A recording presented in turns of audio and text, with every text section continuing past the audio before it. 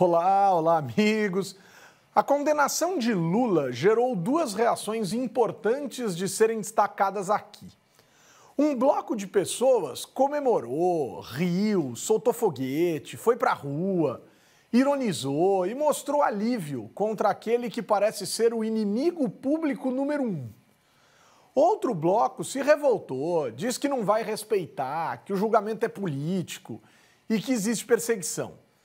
Teve gente graúda, inclusive, falando até em matar para mostrar a indignação. Eu não vou me posicionar aqui sobre esses fatos e sei que tem muita coisa para acontecer até as eleições. Se o objetivo é entender se Lula será ou não será candidato, ah, pessoal, aí a gente vai ter que discutir num outro momento e certamente vamos discutir.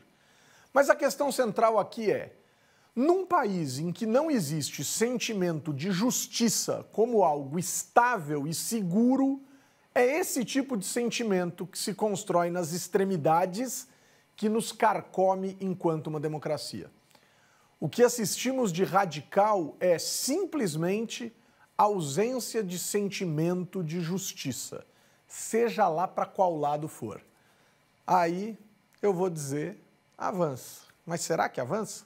Democracia. Avança.